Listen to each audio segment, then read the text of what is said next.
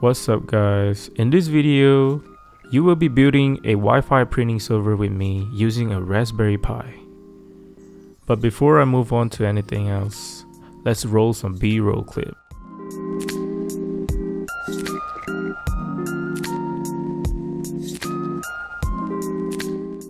And yeah, so this is a printer that I got earlier this year.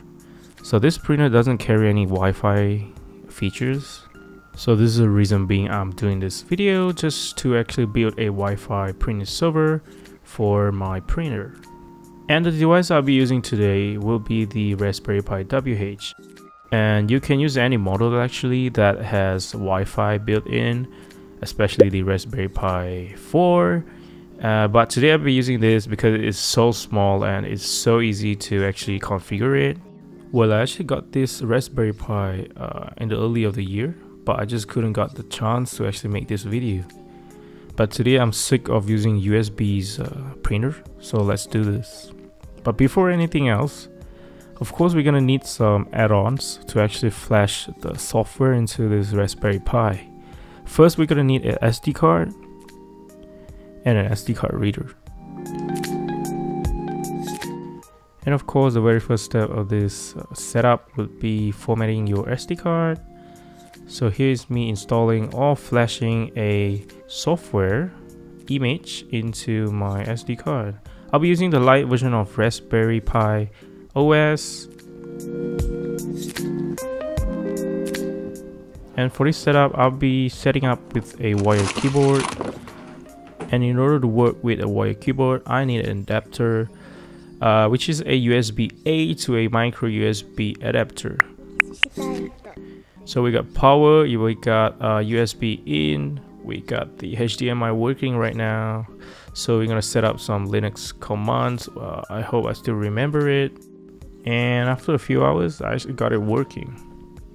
We can actually see RPi printer, which is the name I set earlier on in my network. And we let's try let's try to print something. I'm actually in my living room right now and the printer is actually in my office Let's just hope it works. Yeah, as you can see, it is actually printing. So the next step I'll be doing is that I'll be unplugging my printer so that I can stick the Raspberry Pi at the back of this printer. Well, the plan is actually to use one power source to actually power up the Raspberry Pi. Well, I'm gonna be opening up the back of the printer to actually expose uh, what power source it's actually using.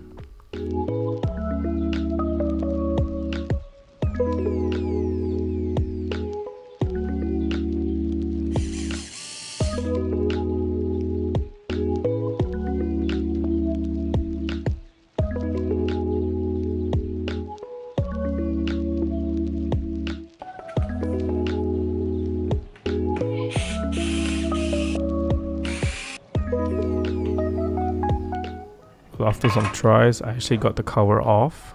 And we can actually see it is actually 22 volt DC well as we all know Raspberry Pi is actually running a 5 volt as the power. So I'm gonna be using some buck converter that is going to convert the higher voltage to a lower voltage that will actually suitable for Raspberry Pi to power up so after a few research, I found that the LM model is actually working. So that now we're gonna be soldering the some wires onto it. But I've no idea how to actually uh, read this. It doesn't have like an LCD screen or like a, a reader. So I'm gonna be using a multi-reader or multimeter. And here is me soldering a wire onto the pins.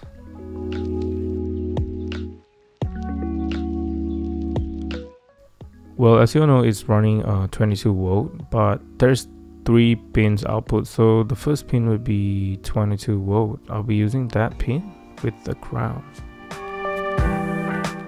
So right now it's actually plugged in and it's actually running at about 13 volt so that I know I want to adjust to a lower volt now it's 5 volt we can actually use it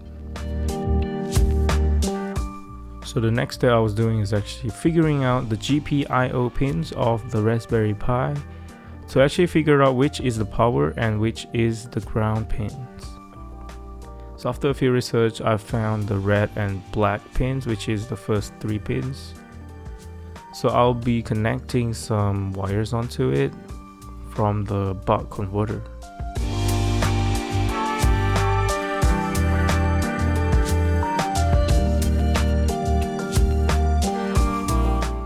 Well, after some tries, I actually plug in the HDMI to actually try if it works. It actually worked.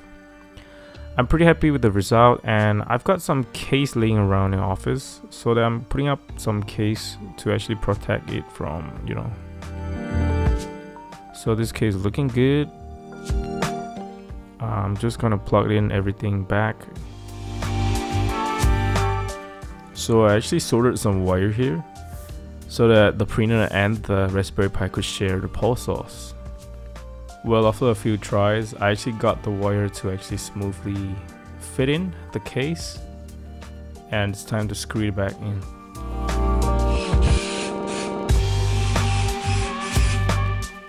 So the next step is actually me uh, figuring out how to tape this Raspberry Pi so that the slider will actually work when I want to keep this printer.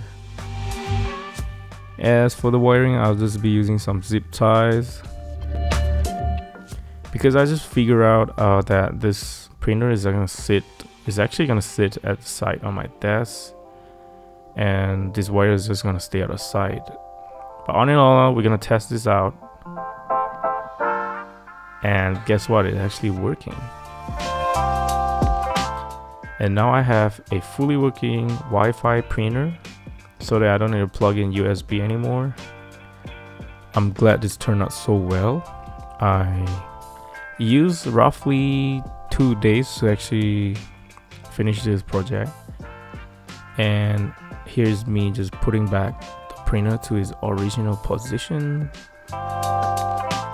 But before anything, consider subscribing to my channel so that I can make more stuff like this and sharing some educational programmings. Yeah, I guess I'll see you in the next video.